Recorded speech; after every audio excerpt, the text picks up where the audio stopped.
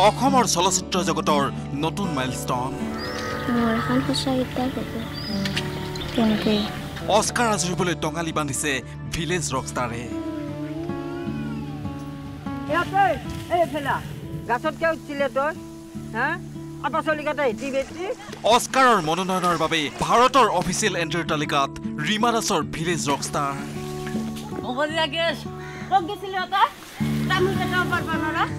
অস্কাৰৰ শ্ৰেষ্ঠ বিদেশী ভাষাৰ ছবিৰ শিতানত মনোনয়ন লাভৰ বাবে ভিলেজ ৰকষ্টাৰৰ নাম প্ৰস্তাৱ ফিল্ম ফেডাৰেশ্যন অফ ইণ্ডিয়াৰ।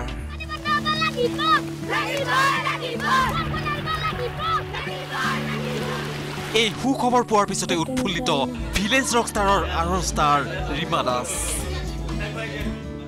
এটা সপোন পূৰণ হ'ল নিউজ এইটিনৰ আগত মন্তব্য ভিলেজ ৰকষ্টাৰৰ পৰিচালিকা ৰীমা দাসৰ। এইটো এটা এইটো দিনৰ কাৰণেই যেন এটা অপেক্ষা কৰি আছিলোঁ আৰু এটা বহুত ডাঙৰ সপোন এটা পূৰা হ'ল। সপোন দেখোঁ আগৰ পৰাই মই দেখিছিলোঁ যেনেকৈ চিনেমা বনাম অস্কাৰ যাব। কিন্তু সেইটো পূৰা এনেকৈ হোৱাটো আচলতে আনবিলিভেবল এতিয়াও মানে বিশ্বাস হোৱা নাই। অসমীয়া ছবি জগতলৈ সুখৰ বতৰা। ইখনৰ পিছত সিখন আন্তঃৰাষ্ট্ৰীয় ছবি মহোৎসৱত প্ৰশংসা আৰু বঁটা বুটলিবলৈ সক্ষম হোৱা স্বৰ্ণকমল বিভূষিত ৰীমা দাসৰ ভিলেজ ৰকষ্টাৰ ছবিখনে এইবাৰ এক নতুন ইতিহাস গঢ়াৰ পথে আগবাঢ়িছে। ছবি জগতৰ আটাইতকৈ শ্ৰেষ্ঠ আন্তঃৰাষ্ট্ৰীয় সন্মান অস্কাৰৰ মনোনয়নৰ বাবে ফিল্ম ফেডাৰেশ্যন অফ ইণ্ডিয়াই প্ৰস্তাৱ কৰা আঠাইছখন ছবিৰ মাজত আছিল ৰীমাৰ ভিলেজ নাম উঠিছিলে তই হা এই আঠাইছখন ছবিৰ মাজৰ পৰা বাৰজনীয়া বাছনি কমিটিয়ে অস্কাৰৰ শ্ৰেষ্ঠ বিদেশী ছবি শিতানৰ মনোনয়নৰ বাবে প্ৰস্তাৱ কৰিছে ভিলেজ ৰকষ্টাৰৰ নাম এই সুখবৰ পোৱাৰ লগে লগে উৎফুল্লিত হৈ পৰিছে প্ৰতিগৰাকী সংস্কৃতিপ্ৰেমী অসমীয়া। কেইটাও পাৰবা নৰা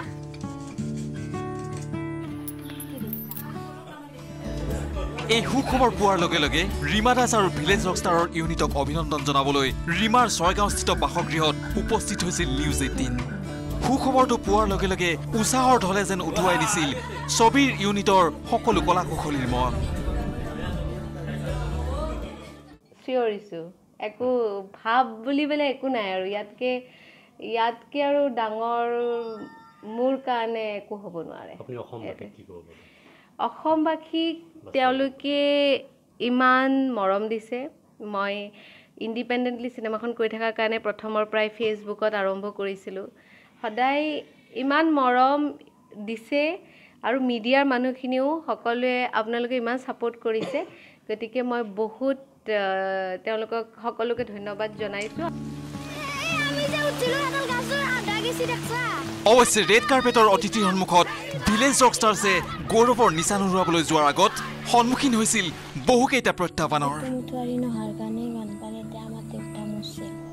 কিয়নো প্ৰস্তাৱিত আঠাইছখন ছবিৰ মাজত আছিল ৰাজি হিচকি পদ্মাৱত লাভ সোনি আদিৰ দৰে বহু বলিষ্ঠ ছবি।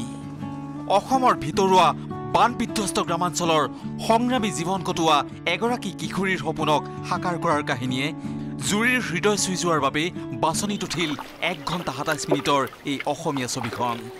ইতিমধ্যে অস্কাৰৰ বাবে নৰৱেৰ অফিচিয়েল এণ্ট্ৰিৰ তালিকাত সোমাইছে আন এগৰাকী অসম সন্তান আদিল হুছেইন অভিনীত হোৱাট পিপল উইল চে নামৰ ছবিখন। দুহেজাৰ ঊনৈছৰ অস্কাৰ সন্মান ঘোষণাৰ মঞ্চত অসমীয়াই দপদপনি তোলক এয়াই এতিয়া আশা প্ৰতিগৰাকী ৰাজ্যবাসীৰ। আজাৰাৰ পৰা ধ্ৰুৱ কলিতা সোণতলীৰ পৰা আব্দুল কালামৰ সহযোগত Rana Gogoi news eighteen Assam north east